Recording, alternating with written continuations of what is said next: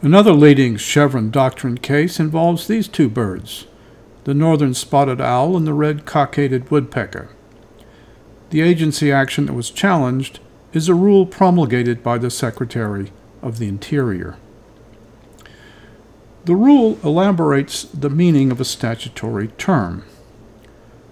Harm, in the definition of take in the statute, may include significant habitat modification or degradation where it actually kills or injures wildlife by significantly impairing essential behavioral patterns, including breeding, feeding, or sheltering. Take. This is among the first English words we learn, but it was given a technical sense in the statute.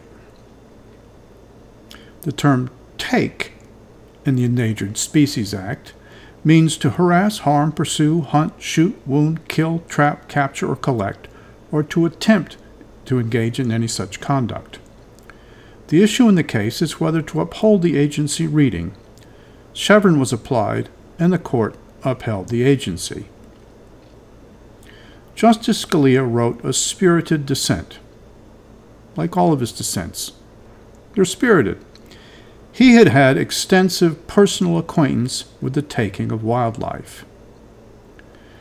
Conceding that the agency reading would have to be upheld at Chevron Step 2, Justice Scalia insisted that there was no ambiguity and that Congress had spoken directly to the precise issue in question, and spoken directly contrary to the agency's reading.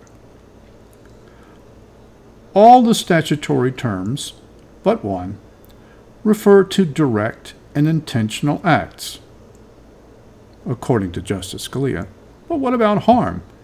Justice Scalia applied a canon of statutory construction to harm. Noscitur a sociis, which means birds of a feather flock together. Because all the other terms refer to direct intentional acts, the term harm has to also. The majority was not impressed. Justice Scalia's reading would make nonsense of an, of an, amendment Congress made to authorize the Secretary to grant a permit to take if such taking is incidental to and not the purpose of the carrying out of an otherwise lawful activity. If no unintentional harm is taking, what reason was there to give the Secretary the power to issue permits for unintentional taking? The legislative history also indicated that Congress understood the term take more broadly. The plaintiffs in Sweet Home were lumber companies. But the House report acknowledged that the Secretary could even prohibit bird watching if that would disturb the birds and make it difficult for them to hatch or raise their young. If that is what Congress meant by take, then of course cutting down the trees in which birds breed would be meant as well. Which brings us to this question could the agency have interpreted the statute not to reach habitat degradation? In other words, is the court deciding in favor of the agency at Chevron Step 1 or at Step 2? If at Step 1, the Secretary could not have interpreted the term take differently and cannot change the agency's interpretation. Congress spoke directly to the issue.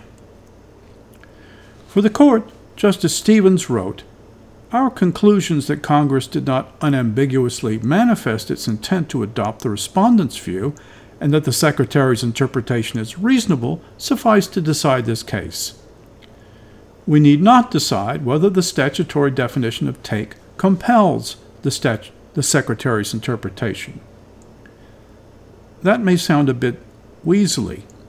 If the court won't say whether the statute compelled the agency reading, how is anyone to know whether the next Secretary of the Interior is free to change interpretations in the way the EPA was free to do in Chevron? Stay tuned. In 1995, at the direction of President Clinton, the FDA promulgated a set of rules intended to discourage the consumption of tobacco by minors. By a 5 to 4 decision, the U.S. Supreme Court struck down these regulations. The court framed the issue in Chevron terms at the outset. Because this case involves an administrative agency's construction of a statute that it administers, our analysis is governed by Chevron. Ever since Chevron was decided in 1983, it has been understood as the court's definitive statement of its task in applying APA Section 706A2. The reviewing court shall decide all relevant questions of law and interpret statutory provisions. By the way, the molecule depicted is nicotine. At the time the FDA acted, and today, the consensus estimate was that tobacco related illnesses contributed to over 400,000 deaths in the U.S. every year. That is a lot of death.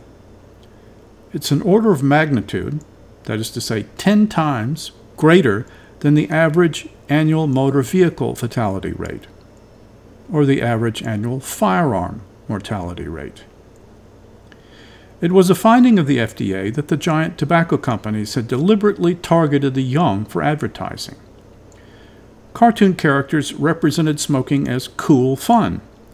Notice that Joe Camel is wearing a motorcycle helmet, presumably to be safe. The FDA also found that the tobacco giants deliberately targeted the immature with flavored cigarettes. These were among the reasons the FDA reconsidered its long-standing policy to leave tobacco alone. The FDA regulations are not described in detail in our casebook excerpt. It is worth considering what those regulations stated. They were of three kinds. The first, the access regulations, were intended to limit the availability of tobacco products to minors. The second set of FDA regulations limited the marketing of tobacco products to minors.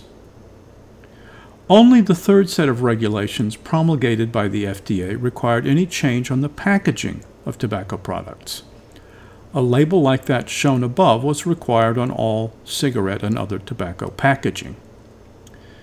The FDA acted pursuant to its long standing authority to regulate drugs.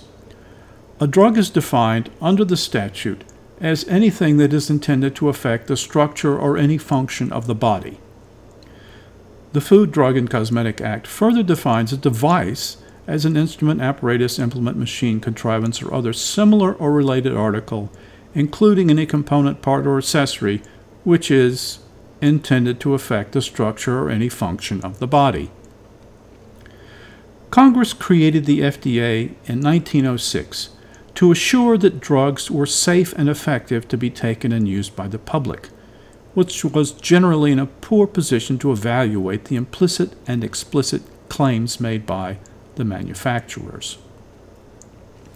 Sometimes the FDA was late in removing dangerous remedies from the market. For example, a pepper upper called Radithor was manufactured and sold to consumers in the U.S. from 1918 to 1928 it was widely advertised. Eben Byers, U.S. amateur golf champion, appeared in print ads that touted the energetic glow he felt when using Radithor. Byers' death in 1932 was reported in the Wall Street Journal under the headline, The radium water worked fine until his jaw came off. The dangers of tobacco were known as early as the 1950s but as of 1906, tobacco and its components were assumed to be as safe as any of a wide range of naturally occurring substances like radium. The tobacco industry invested heavily in commercial advertising. Health claims were common. Cigarettes were marketed as a remedy for such afflictions as obesity. Manufacturers competed by claiming to minimize side effects. At the same time, their own research revealed to the tobacco companies the devastating health consequences of the, their, of the use of their products. They kept this to themselves and commissioned research to try to obscure the truth. Celebrity endorsements were also a common theme in advertising. In the face of mounting evidence of the health hazard posed by tobacco, the FTC proposed in 1964 to require warning labels on cigarette packaging. But the FTC was preempted by the Cigarette Labeling and Advertising Bill of 1965, which required a specifically worded warning label. In 1971, Congress acted to forbid television advertising of cigarettes, but print advertising continued much as before. This camel ad emphasizes the euphoric effect of smoking. What is the nature of this reward? Is it simply an appreciation of how good smoke can taste? Nicotine is the reward agent in tobacco. Tobacco smoke clearly affects the structure and function of the body and is marketed with the intention that it do so.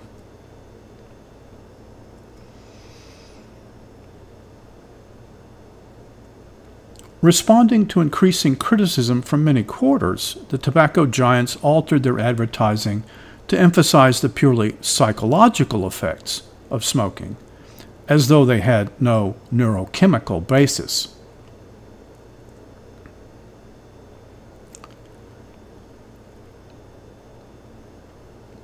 Query Was it Congress's intention in 1906 to ban products containing radium?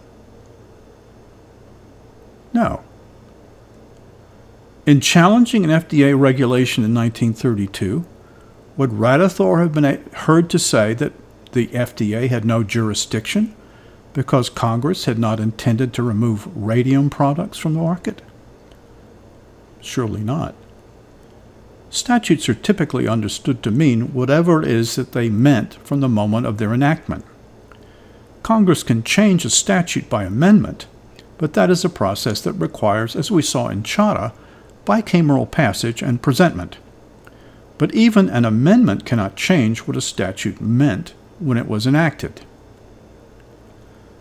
But Justice O'Connor, writing for the court in Brown and Williamson, suggests the contrary. She wrote, At the time a statute is enacted, it may have a range of plausible meanings. Over time, however, subsequent acts can shape or focus those meanings. Congress is not limited to repealing, amending, or regretting statutes, she writes. Congress can also shape or focus the meaning of existing statutes without amending them or even referring to them.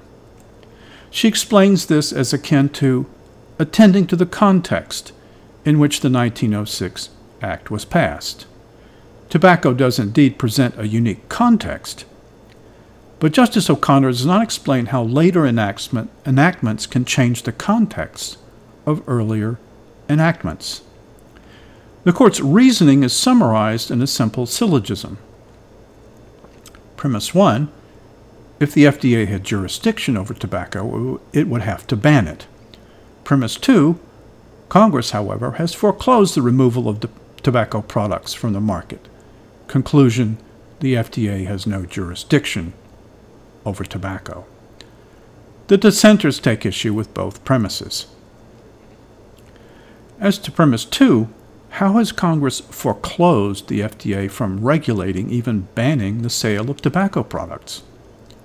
The court cites a 1938 statute that a junior associate would be embarrassed to mention.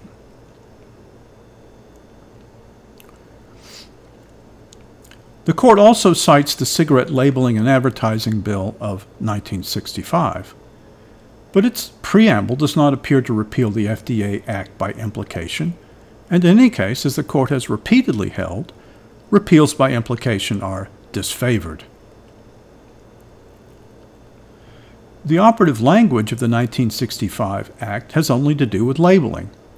There is clearly an inconsistency between the FDA labeling regulations, which we looked at, and the 1965 Act, but that does not touch the FDA's access and promotion regulations.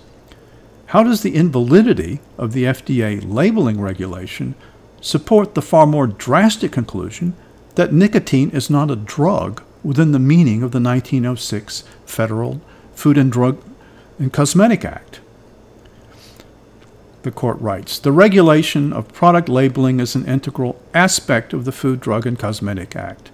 Ergo, Congress has over the past 35 years precluded an interpretation of the Food, Drug, and Com- Cosmetic Act that grants FDA jurisdiction to regulate tobacco products. The past 35 years, however, does not reach back to 1906 or even to 1938 when the amended Food, Drug, and Cosmetic Act was passed.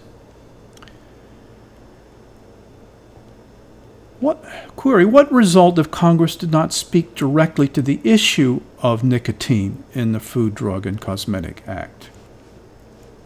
The answer, of course, is that Chevron step two, the issue would be whether the FDA reading is within the range of plausible meanings, as Justice O'Connor had already acknowledged. If Congress did not speak directly at Chevron step one, then the issue for the court is the step two question of whether the FDA reading is reasonable as surely it is. What is the lesson of Brown and Williamson? Shown above is the introductory frame from a presentation in 2015 at a meeting of the Rocky Mountain Coal Mining Institute, an industry group representing coal interests in western states. Survival is victory is the lesson for the coal industry, but survival for some can mean death for others. For us, one lesson is that when the court does not like what will emerge at Chevron Step 2, it will work harder to find that Congress spoke directly to the precise issue at Step 1. Ultimately, Congress acted to correct the result in Brown and Williamson. But in the intervening years, perhaps millions of Americans were exposed to an addictive carcinogen. Another lesson. What Alexander Hamilton called the least dangerous branch can still be dangerous.